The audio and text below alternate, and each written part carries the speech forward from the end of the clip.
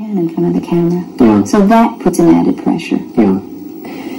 Let me ask you what, um, you made your film debut, I know, in, um, in Myra Breckinridge. I like Uh, to forget that. I still think that film was maybe a couple of years ahead of its time. oh, I, I think so. Uh, that's 20 years. Yes.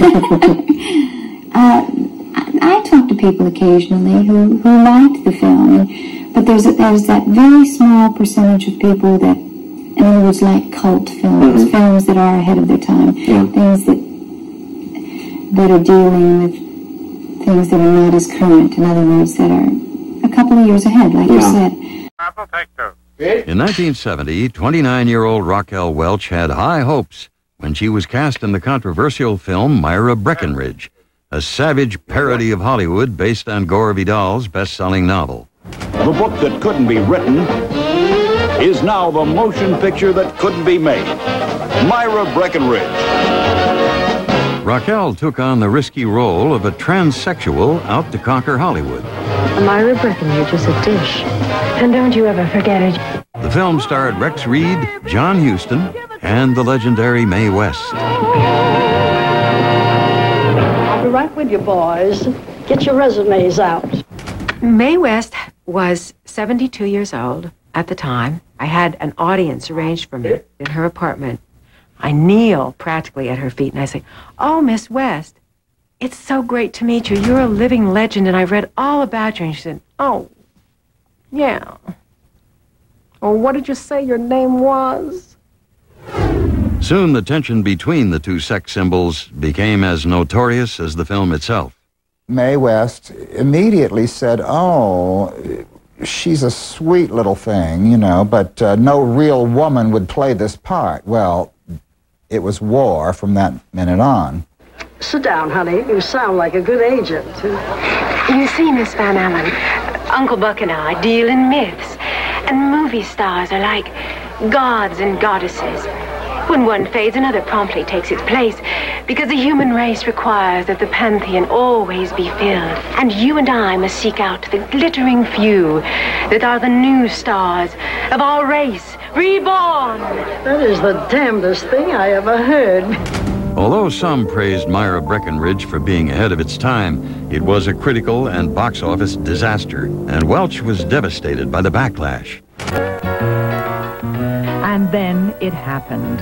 After being away from films for over 27 years, at the age of 77, she was asked to play the part of big-time casting director Letitia Van Allen in the film version of the Gore Vidal book, Myra Breckinridge. Mae had a lavish production number and received $350,000 for her appearance. She also got to act with the then reigning sex symbol, Raquel Welch. You have all the kinky angles that are in right now. I mean, have you any that I don't know about? Oh, Letitia, What about studs? they don't call you the queen of the casting couch for nothing. Raquel Welch and uh, Mae certainly did not get on. Uh, and that, to me, was to be expected. I mean, when you know that Mae doesn't enjoy being in competition with other women, it would be very difficult for her to be in a movie with the so-called sex symbol of the 70s when she still considered her to be um, the sex symbol of life. Myra Breckinridge was a colossal failure, but Mae received good notices. Many thought she was dead and were surprised at her vitality. Mae was 77 years old, and she wasn't even thinking about retirement. And then in 1970, after almost three decades off the screen, Hollywood finally came courting again. The book that couldn't be written is now the motion picture that couldn't be made. Myra Breckinridge. Mae West was excited to be making a, quote, comeback. Uh, there's no doubt that the idea of making a movie really excited her. I'm not sure Myra Breckinridge would be her dream picture. What about studs?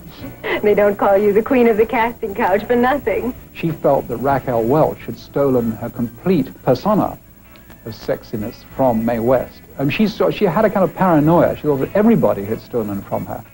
Despite her insecurities about playing second fiddle to Raquel Welch, Mae was excited to be back. The problem was she was in the late 70s, an age where she could look back nostalgically on her sexy past. Instead, Mae was trying desperately to relive it, even eight years after Myra Breckinridge when Mae was offered what would be her final role. Functions that they will be photographed together. Farrah's agent, Dick Clayton, was able to get her cast in the 1970 dark comedy Myra Breckinridge. The film was a miserable experience for 23-year-old Farrah. If only you were a man. I remember talking to her on what a painful ordeal it was to make that movie. She, how many times they demanded that she change her hair color, you know, one hour after the next, going to the next bottle of hair color. Um, and she really had not much control over that because she was new and didn't know that. After filming Wrapped on Myra Breckinridge, Farrah's hair was in bad shape. She turned to stylist Hugh York for help. Let me ask you what, um, you made your film debut, I know, in, um, in Myra Breckinridge. I like uh, to forget that. I still think that film was maybe a couple of years ahead of its time. Oh, I, I think so. Uh, that's 20 years Yes. uh, I, I talk to people occasionally who, who liked the film. But there's a, there's that very small percentage of people that, in other words, like cult films, Mhm. films that are ahead of their time, Yeah. things that that are dealing with things that are not as current. In other words, that are couple of years ahead, like you said. Um,